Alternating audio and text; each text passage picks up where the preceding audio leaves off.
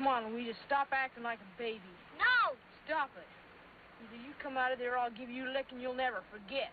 You bully, you can't force a person not to be scared. Since you think you know it all, Smarty, you do it. Come on, Louisa. I won't let John spank you, I promise. And you don't have to get on that raft till you're good and ready.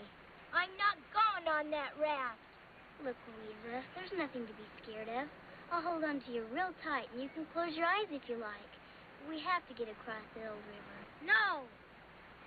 All right, then. I guess Mama will never have that house she wanted out in Oregon. Poor Mama. Bet she's looking down from heaven right now and feeling real sad. And Papa, too. Catherine, wait! You really think that Mama and Papa are looking down from heaven? Of course they are. They've been watching over us ever since they died. Isn't that right, Johnny? Yeah. We're their children, ain't we? Then I guess I won't be scared. Come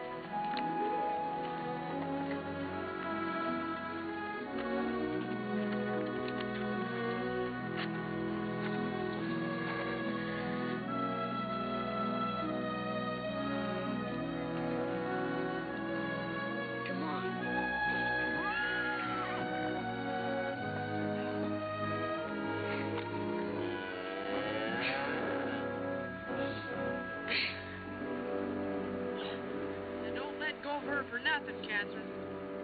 Now, if you all be quiet and trust me, nothing's gonna happen.